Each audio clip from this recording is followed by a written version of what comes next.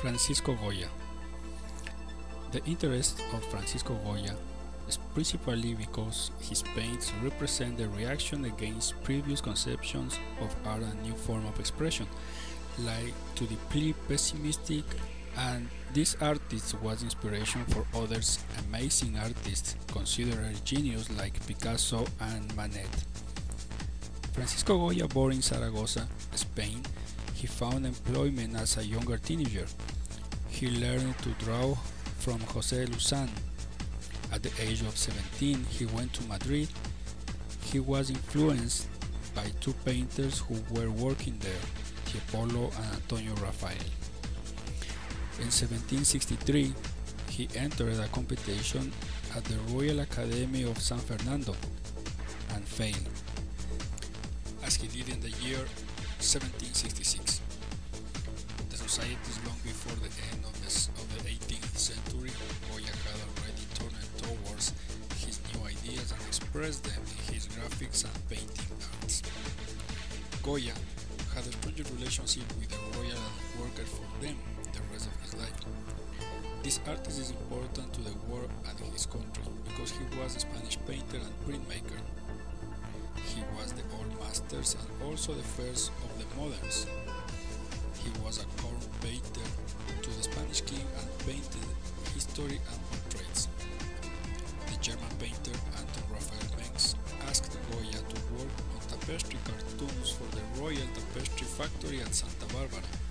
Goya painted 63 cartoons for two royal palaces, which include nine hunting scenes for the dining room at San Lorenzo del Escorial 10 cartoons for tapestries dest destined for the dining room at El Pardo.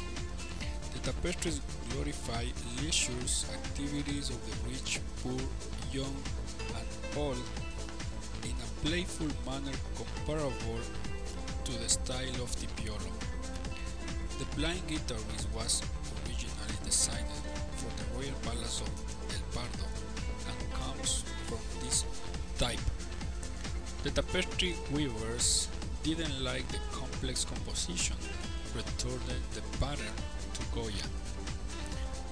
However, Goya preserved the original design, the largest print he ever made. Las Meninas, which means promised gift, is one of a group completed by Goya based on paintings by Velázquez. Goya made his upon makes suggestions that he studied Velázquez portraits in the royal collection.